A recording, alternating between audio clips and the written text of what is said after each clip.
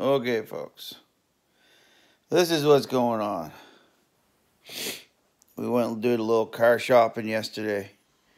And let me tell you, I'm not impressed at all. Car shopping sucks.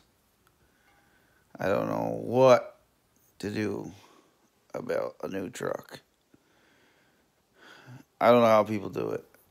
I am so stressed out over one day of looking at trucks. It's unbelievable. Uh, now I'm getting a cold because I went out yesterday. I don't feel good today. So this sucks.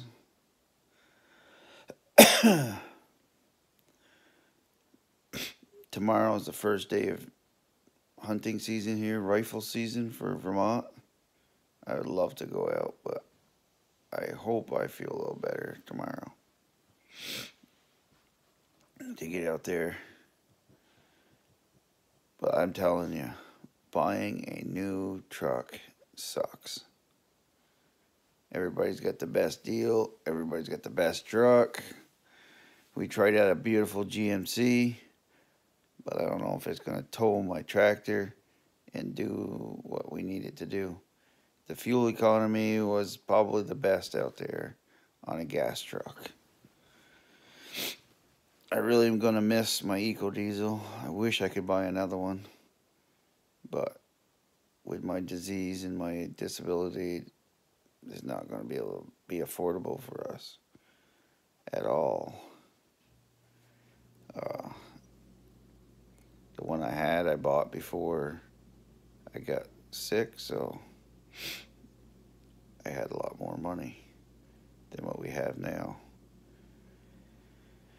So I don't know what to do. We're still looking. We're looking at a Nissan Titan. I don't know. It rides nice, handles good. Fuel economy just is not there. I think it'll tow my tractor I know it'll tow my tractor and my trailer. So that was the biggest issue that I had. I don't know. It's very confusing. I don't envy anybody that has to buy a new vehicle. I sold cars for a lot of years and thought nothing of it.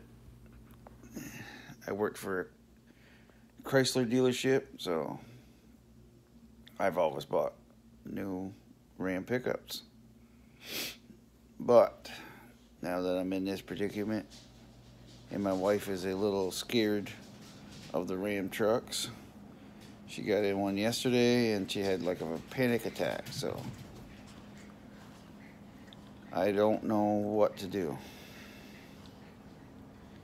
It looks like it's going to be a nightmare to replace the truck that we had especially the equipment that I had into it, like the heated steering wheel and just little stuff that, you know, when you're in Vermont in the cold weather, the heated steering wheel is just a, a must.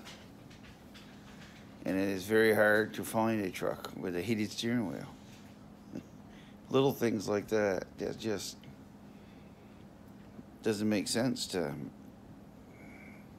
to a lot of people, but with my uh, disease, you you you got your hands are cold all the time, and my wife's hands are cold all the time. Anyway, she has uh, she has uh, uh, some issues with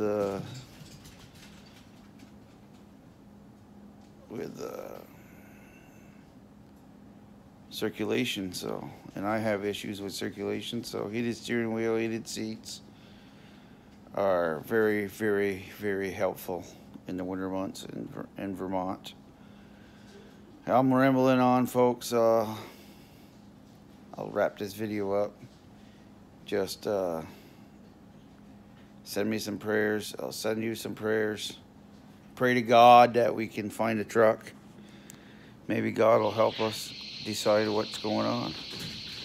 Oh, well, that sounds like somebody's trying to get in. Thanks a lot for watching. Louie out.